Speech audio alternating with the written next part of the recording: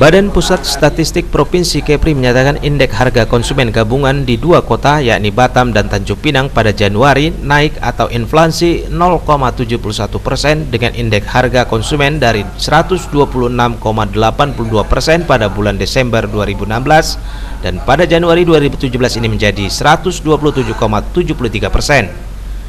Data inflasi Provinsi Kepulauan Riau tahun 2017 menunjukkan Kota Batam mengalami inflasi 0,67 persen dan Kota Tanjung Pinang mengalami inflasi 0,97 persen.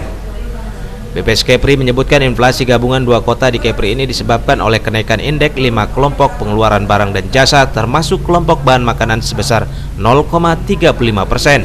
Kelompok makanan jadi minuman rokok dan tembakau naik sebesar 0,21 persen.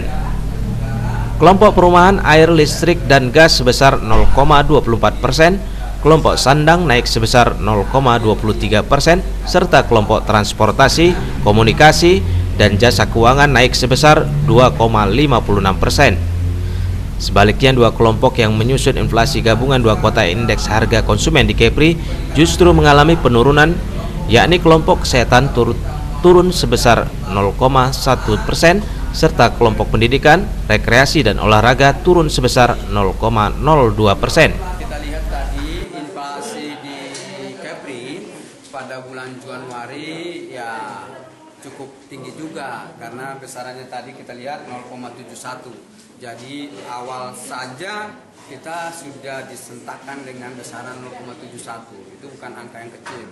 Nah tentunya kita berharap nanti di bulan Februari bisa kita radam lagi sehingga nanti target uh, pemerintah uh, inflasi itu 4% mungkin target RPJMD barangkali lebih rendah lagi saya nggak belum lihat gitu ya.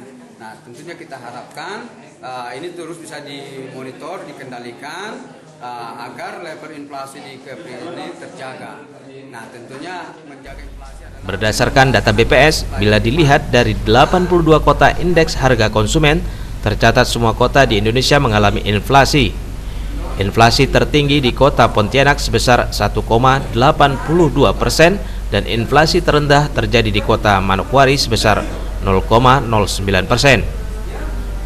Sementara kota Tanjung Pinang dan Batam menduduki posisi 38 dan 62 dari 82 kota indeks harga konsumen. Umalana Sution, MNC Media, memberitakan.